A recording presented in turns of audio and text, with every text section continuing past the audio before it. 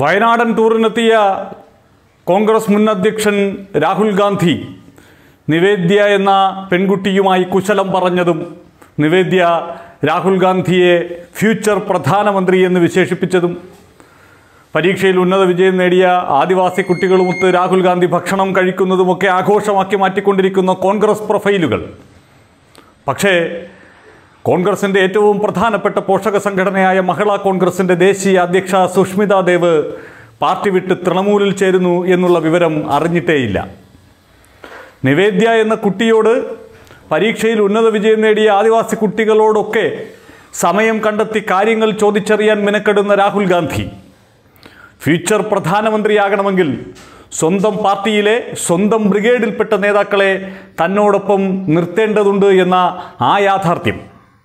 അവരോട് പ്രശ്നങ്ങൾ ചോദിച്ചറിയേണ്ടതുണ്ട് എന്നുള്ള ആ സത്യം എന്തുകൊണ്ട് മറന്നുപോയി എന്ന് ഈ ആഘോഷ പ്രൊഫൈലുകാർ ഒന്നും ചിന്തിക്കുന്നതേയില്ല.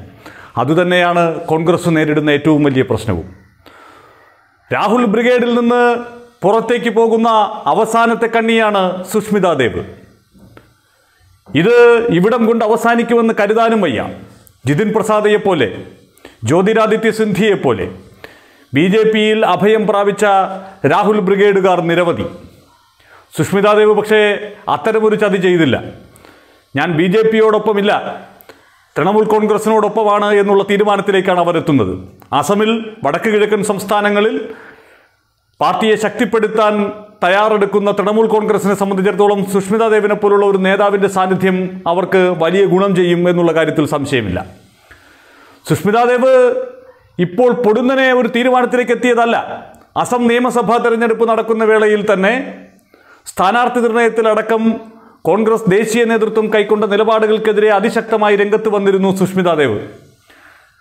അതിന്റെ തുടർച്ചയായി അന്ന് പ്രിയങ്ക ഗാന്ധിയും കോൺഗ്രസിന്റെ ദേശീയ തലത്തിലെ ചില നേതാക്കളുമൊക്കെ സുഷ്മിതാ ദേവുമായി ചർച്ച നടത്തി ഒരു അനുനയത്തിന്റെ പാതയിലേക്ക് എത്തിയിരുന്നുവെങ്കിലും പിന്നെയും തോൽവിക്ക് ശേഷവും അസമിലെ പാർട്ടി ഏത് വഴിക്കാണ് പോകുന്നത് എന്നുള്ളതിന്റെ ഒരു ദിശാസൂചിക കൂടിയാണ് സുഷ്മിതാ ദേവിനെ പോലുള്ള ഒരു നേതാവിന്റെ ഈ പടിയിറക്കം.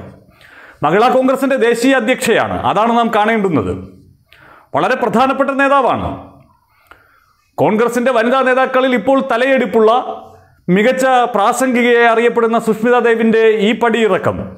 കോൺഗ്രസിനുണ്ടാക്കുന്ന അടിയെന്ന് പറയുന്നത് ചില്ലറയല്ല. ഇവിടെ ബേക്കറിയിൽ കയറിയും കുട്ടികളോടൊത്ത് സല്ലപിച്ചുമൊക്കെ രാഹുൽ ഗാന്ധി നടക്കുമ്പോൾ ഫ്യൂച്ചർ പ്രധാനമന്ത്രിയാകണമെങ്കിൽ സ്വന്തം പാർട്ടിയിൽ കരുത്തുള്ള നേതാക്കളെ പിടിച്ചു നിർത്താൻ സാധിക്കണം എന്നുള്ള ആ സാമാന്യ തത്വം പോലും രാഹുൽ ഗാന്ധി മറന്നു പോകുമ്പോൾ ഈ ആഘോഷങ്ങൾക്കൊക്കെ എന്തു പ്രസക്തി?